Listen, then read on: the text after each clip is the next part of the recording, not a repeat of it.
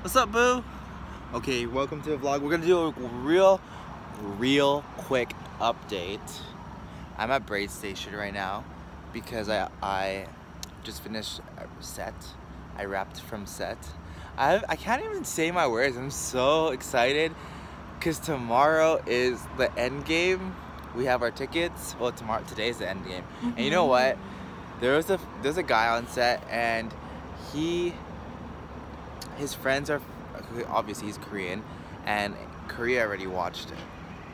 So he was telling me what happened and he's like telling me um, yeah, I'm gonna be really and he's like I'm not gonna spoil it for you, but I'm gonna be mm, I'm not even gonna say it to you, but I'm just so excited. Um, I got my food over here from set, my baby. God is the greatest. Um, yeah, I have nothing to complain about. I'm so, so excited. So, so blessed. How's your day? Great. And we live in, we're just living over here.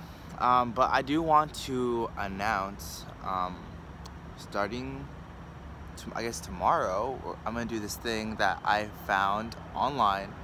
It's called Gains and Development. For the next 20 days, because my mom comes back in 20 days, we're gonna try it.